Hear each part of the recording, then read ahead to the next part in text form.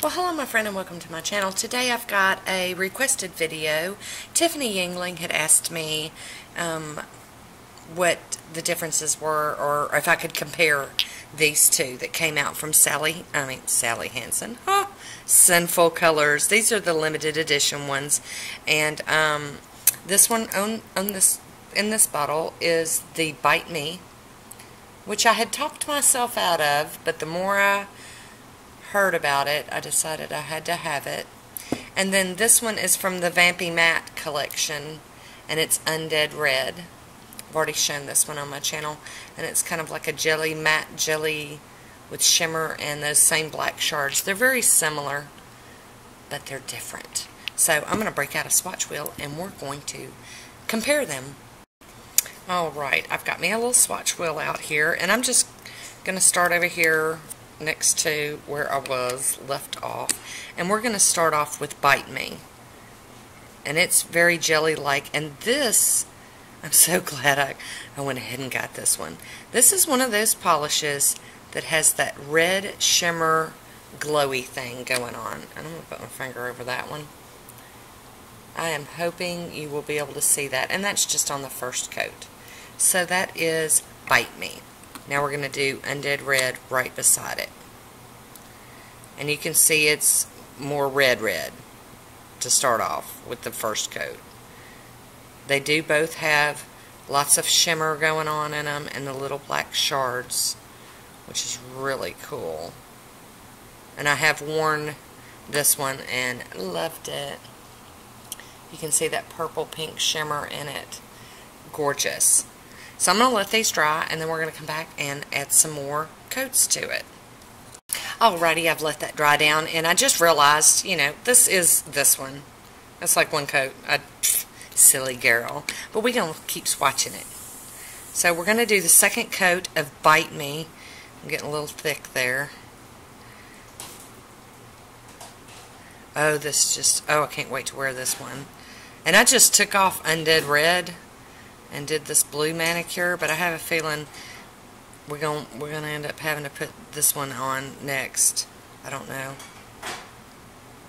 I'm just so in love with that. That is gorgeous. And then we're going to do another coat of Undead Red.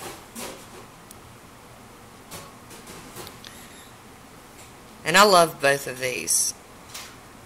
Both of these are just my kind of, and I don't even get into red polishes that much, but both of these. So you can tell, there's no doubt how different these two polishes are. So, you know, even even to the untrained eye, these would look different. And I'm really excited about this one. I can't believe I tried to talk myself out of that. But I'm going to let this dry down and I'm going to do a third coat because these are kind of sheer and jelly-like. And I want to build them up and see what they look like to done. So I'll be right back. Alright, so here we go. We're going to go with our third coat of Bite Me.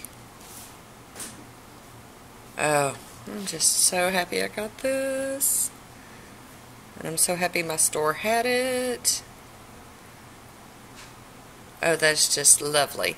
And look what a difference, because that's just one coat. You know, I just had to, like, swipe it and see. One coat, three coats. Doesn't even look like the same thing. Okay, now we're going to do one more coat of Undead Red. And you guys are probably getting sick of hearing me talk about some Undead Red. I think I've talked about it in three or four videos.